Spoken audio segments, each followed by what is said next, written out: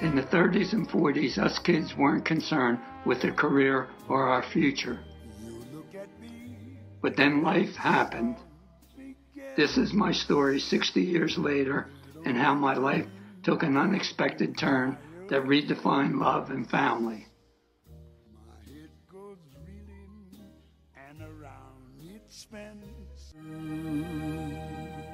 When I was a little boy, I wanted to be a, a baseball player or a football player. I realized I wasn't very good at it. I couldn't catch a ball or throw a ball, so there was no sense being a baseball player. Everybody was in, during World War II was involved in the war effort. My father worked at building tanks. My mother worked for the Navy, and there were war movies on, and everything in the newspaper was about war. So of course I wanted to participate, and I wanted to be what was the most uh, exotic occupations, which were the most heroic, would have been fighter pilots. As far as being a fighter pilot, I had bad eyes, so that took care of being a fighter pilot.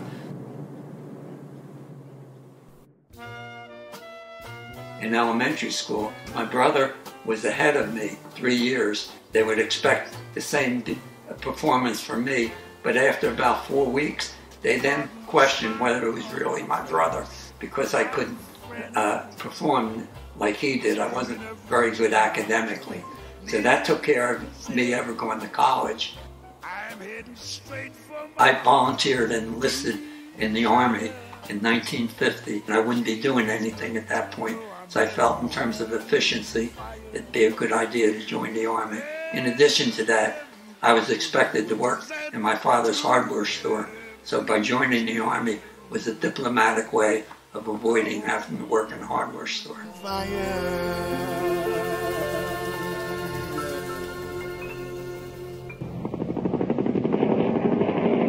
I volunteered for the paratroopers. I served three years in the Army. I went to uh, airborne school, I went to ranger school, and eventually I went to officer candidate school.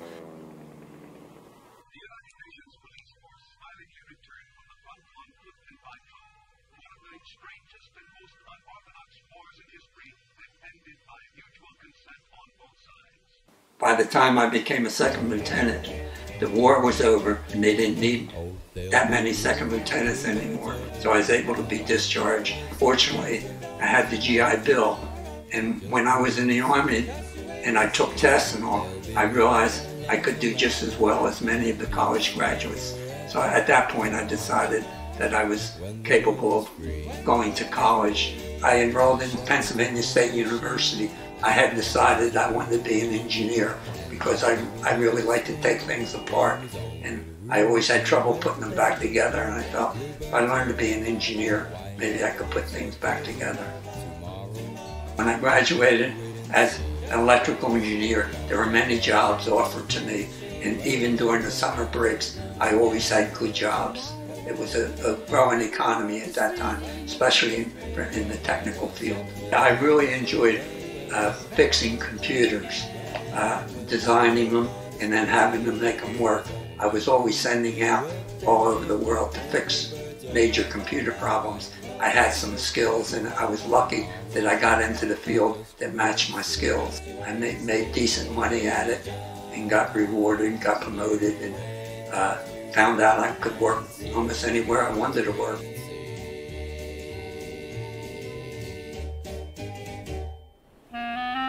I met my wife on New Jersey Avenue Beach. Uh, it just so happens my wife was staying at my aunt's rooming house on New Jersey Avenue in Atlantic City.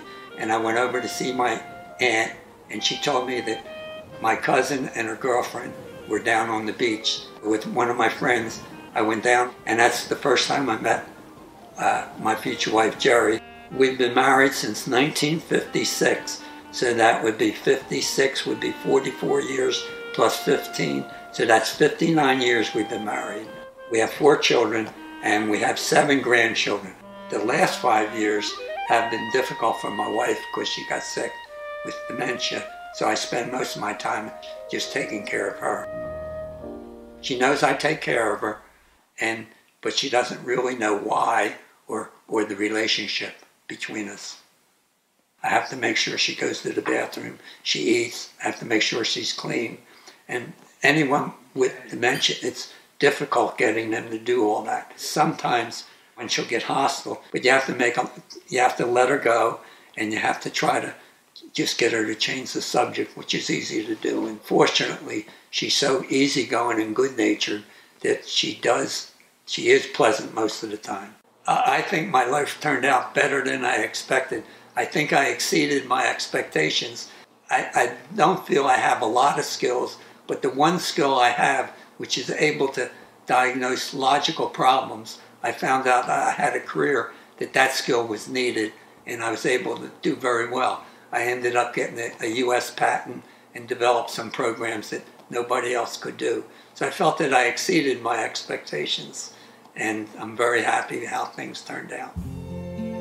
As far as advice to my children and my grandchildren, I'm very lucky. I found out I don't have to give them any advice because most of them are such good citizens and have good common sense that all my children and my grandchildren have probably surpassed any expectations that I have for them, both their occupation and both their behaviors and their families. They all do very well. I'm, I'm so happy that they do they do come down here and see me. They try to help me, and they're very supportive. And I couldn't be more pleased with how they turned out. What a wonderful